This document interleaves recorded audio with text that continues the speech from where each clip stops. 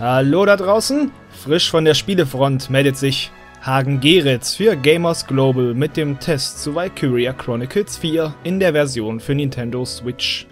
Entwickler Sega entführt die Spieler in dem Mix aus Rundentaktik und Echtzeit-Action auf eine alternative Erde im Jahr 1935. Durch kräftige, verlaufende Farben und schicke Grafikfilter erscheint das Europa dieser Welt wie mit Wasserfarben gemalt, während das Figurendesign sich der Anime-Ästhetik bedient.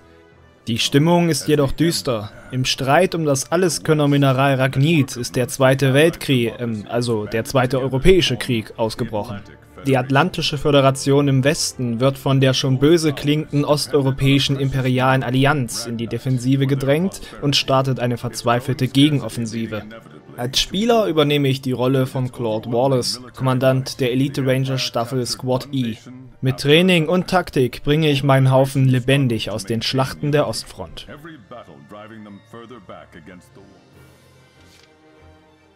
Neben der umfangreichen Geschichte und der Trupporganisation bilden die Gefechte mit kleinen Verbänden den Kern von Valkyria Chronicles 4. Die Kampfmechanik ist in der Praxis ebenso spaßig und eingängig, wie sie umständlich zu beschreiben ist. Das Schlachtfeld breitet sich zunächst in Form einer Landkarte vor mir aus, Ziehe ich mit einer der darauf eingezeichneten Figuren, verbraucht das einen Kommandopunkt. Selbes gilt für Befehle, die etwa die Genauigkeit einer Einheit erhöhen. Habe ich alle Punkte verbraucht, beginnt die Runde des Gegners. Wie üblich bei Rundentaktik kann eine Einheit sich in ihrem Zug bewegen und eine Aktion ausführen. Der Clou daran ist aber der Perspektiv- und Tempowechsel. Ich steuere Soldaten und Panzer nun in Echtzeit aus der Third-Person-Sicht. Durch gegnerische Salven und zwischen Minen hindurch sporte ich zur nächsten Deckung. Ein Balken zeigt meine Bewegungsreichweite, während farbkodierte Sichtlinien vermitteln, wo der Feind steht und wann er nachlädt. Habe ich mich positioniert oder laufe einem versteckten Gegner unvermittelt in die Arme, hämmere ich schnell die Schultertaste, worauf das Fadenkreuz erscheint und die Zeit wieder stillsteht. Selbst mit den Reflexen eines toten Lamas ist also ein Kopftreffer machbar. Die Treffsicherheit bestimmen dabei Klasse, Werte und Ausrüstung. Hinzu kommen einige feine Details, wie dass benachbarte Einheiten die Chance haben, gemeinsam anzugreifen. Die ersten Spielstunden bergen akute Déjà-vu-Gefahr bei Kennern der Serie, so vertraut fühlt sich alles an. Valkyria Chronicles 4 legt ein gemütliches Tempo vor und hat erst zur Mitte der Kampagne alle der überschaubaren neuen Mechaniken eingeführt. Dazu gehören neue Befehle wie die Anforderung von Artillerieschlägen, aber auch die Kommandofunktion. Für rare Spezialpunkte befiehlt ein Offizier damit Kameraden in der Nähe, ihm zu folgen. Effektiv ziehen also bis zu drei Fußtruppen auf einmal. Oh, Die Klassen Aufklärer, Sturmtrupp, Lancier, Pionier und Scharfschütze werden um den Grenadier ergänzt. Der sprengt per Mörser Gegner aus der Deckung und stört die gegnerische Bewegung mit seinem Bombenhagel. Was habe ich gelacht, wenn ein bombardierter Imperialer mit lustiger Ragdoll-Physik durch die Gegend segelte. Mindestens ebenso laut habe ich aber geflucht, wenn mich in späteren Gefechten geführte Bataillone an verschanzten Grenadieren bei jedem Zug nervten. Die richtige Taktik in den Missionen besteht stets aus effektiver Ausnutzung der Klassen. Ein Scharfschütze etwa kann die Eskorte eines Panzers aus sicherer Distanz ausschalten, damit der Lancier mit seinem Raketenwerfer den Schwachpunkt an dessen Rückseite erreicht Oder ich erobere mit flinken Speeren ein feindliches Lager und rufe dort schwere Truppen als Verstärkung. Das geht schneller als die lahmen Typen vom Startpunkt dorthin laufen zu lassen.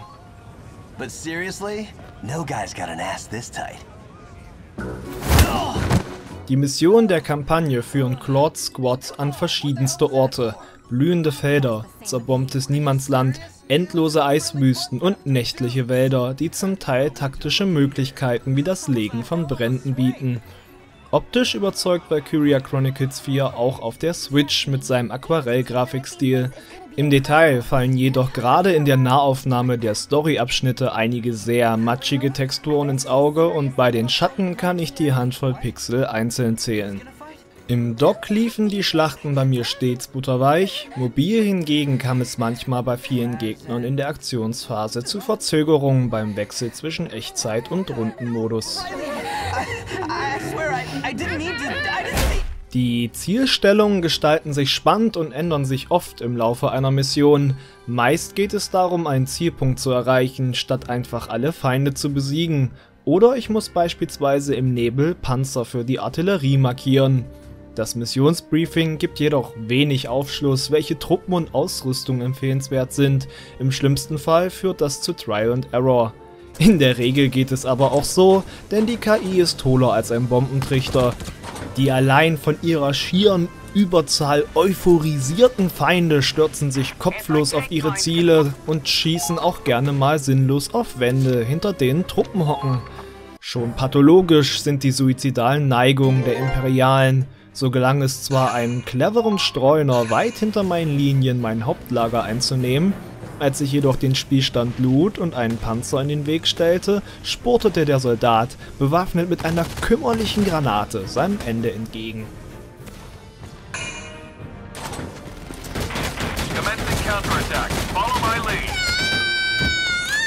Eine Designentscheidung kaschiert diesen Makel etwas. Die Bewertung einer Schlacht basiert ausschließlich auf den benötigten Runden bis zum Sieg. Somit besteht der taktische Anreiz eher darin, gefährliches Terrain und befestigte Stellungen durch koordinierte Züge möglichst effektiv zu meistern. Zugleich darf kein einziger meiner Fußsoldaten fallen. Die lassen sich bei Abschuss aber sehr einfach vom Feld evakuieren oder raffen sich durch das letzte Gefecht-Feature allein wieder heroisch auf. Das Rangsystem engt den Spielraum der effektiven Taktiken ein und schafft dabei ein anderes Balancing-Problem. Wer hohe Wertungen erreicht, hat Geld, Erfahrung und Spezialwaffen im Überfluss, was die Herausforderung für bereits sehr gute Spieler noch einfacher macht.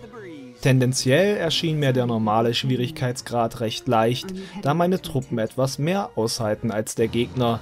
Die Ausnahme von der Regel bildeten einige unvermittelt sehr schwere Missionen. Nach einem erkämpften Sieg lande ich im Menü, das in schöner Serientradition in Form eines Buches daherkommt, in dem ich zu allen früheren Missionen und Dialogen zurückblättern kann. Außerdem finde ich hier den Hauptquartierbildschirm zur Organisation meines Trupps. Erbeutetes Geld investiere ich in bessere Uniformen, Teile für Claudes Panzer und Waffen mit Spezialisierung. Schließlich kann ich einzelnen Charakteren für Feintuning erbeutete Spezialwaffen und Talismane zuweisen hier trifft Valkyria Chronicles 4 für mich das richtige Maß an Optimierungsspaß, ohne in zu viel Mikromanagement auszuufern. Bleiben die Erfahrungspunkte. In der Kantine kann ich damit neue Befehle erhalten oder beim Übungsgelände den Level der Klassen steigern. Dies bringt nicht nur ebenfalls neue Befehle, sondern auch klassenspezifische Potenziale zum Vorschein. Das bringt uns zu den Charakteren. Bei Squad E handelt es sich nämlich keineswegs um gesichtsloses Kanonenfutter. Jeder der überzeichneten Burschen und Mädels hat kleine Hintergrundgeschichten. Ihre individuellen Potenziale sind Boni und Mali, die Charakterzeichnung mit Gameplay verzahnen. So hält sich Sturmtruppführer Ras für unbesiegbar und wird schwerer zu treffen, wenn seine Lebenspunkte unter die Hälfte fallen. Aber nicht alle Potenziale sind berechenbar. Der Zufall entscheidet, wann Scharfschützin Reige aus Schüchternheit an Genauigkeit verliert. Die Auswirkungen sind intransparent und unnötig nervig, wenn deshalb ein ganzer Zug verschenkt ist. Ein Anreiz der optionalen Squad-Mission besteht auch darin, dass sich zum Teil negative in positive Potenziale wandeln.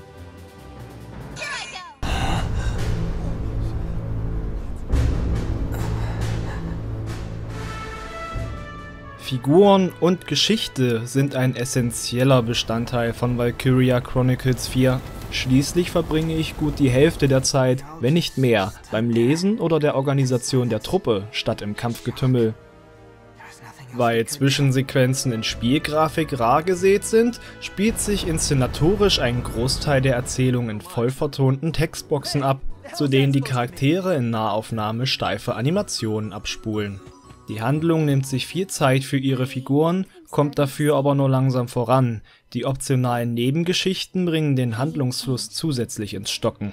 Ihr spielt Nebenaufgaben direkt, lest nicht so schnell oder hört gerne die Sprachausgabe, dann habt ihr in der Zeit, die es braucht, Uncharted 4 eineinhalb Mal durchzuspielen, wahrscheinlich noch nicht eine verdammte der kaum bezwingbaren Valkyren gesehen, die der Serie ihren Namen geben.